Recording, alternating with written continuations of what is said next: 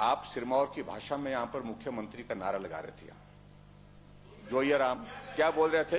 जोया राम, मंदा नहीं, कर्मचारी री फुंदा नहीं। ऐसा। ये what is this Zoya Ram? What is this Zoya Ram? आप बताएँ, आप ज्ञान मत दीजिए हमको।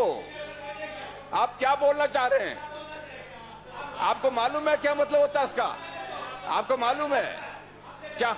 ज़्यादा मतलब मेरे तो ज़्यादा पता है। आप आप मत सोचिए कि आपको ही सब कुछ आता है। आप तो, तो यही बोलूँगा मैं और बोलूँगा मैं आपको भी बोलूँगा ये। हाँ। है जो इस प्रकार की भाषा का इस्तेमाल करता है। में क्या बोलूँगा मैं? यही बोलेंगे बार बार बोलेंगे सब बोलते हैं पूरे प्रदेश में बोलते हैं सब। और ये आप अध्यक्ष महोदय ये इनका स्वभाव बन गया। कि प्रधानमंत्री को गाली गलौज पिछली बार भी पिछले साल भी पिछले साल का भी अगर देखेंगे पिछले साल का भी बजट का पिछले साल की बजट की आपने देखी है? देखेंगे। किस प्रकार से शब्दों का इन्होंने चयन किया है? किस प्रकार से उन्होंने प्रधानमंत्री जी के खिलाफ बोला है? हर वक्त बोलते हैं। आपकी कांग्रेस पार्टी की अगर सभा हो समझ में आता है सभा का आपको कुछ लोगों के बीच में एक माहौल खड़ा करना है वहाँ आप बोलिए। लेकिन इस, इस मान्य सदन के अंदर तो शालीनता रखिए। सब्र रखिए संयम रखिए।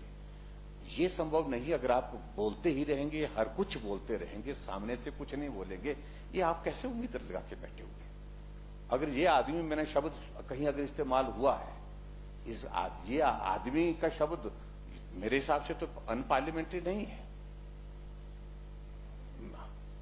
मान्य सदन में हमने शब्द का अगर इस्तेमाल किया अनपार्लियामेंट्री शब्द होता तो आप निकालिए मुझे कोई आपत्ति नहीं है।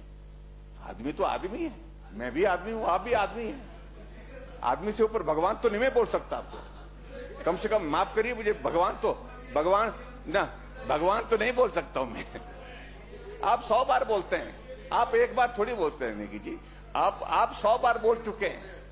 हमने एक बार बोला, उस पर आपत्ति आप सैकड़ों बार बोल चुके हैं, उस पर हम लोग हज़ारों बार।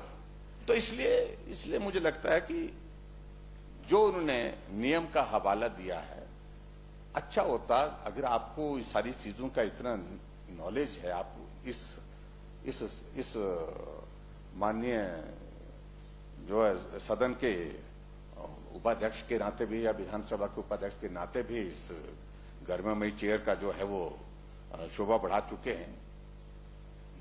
आपको तो और ज़्यादा ख्याल रखना चाहिए। आप तो ऊपर होते थे, हम तो नीचे ही होते थे। ना उस वक्त, ना आज। तो ऐसे में मेरा मुझे लगता है कि इन बातों को नहीं करना चाहिए, सब्र करना चाहिए।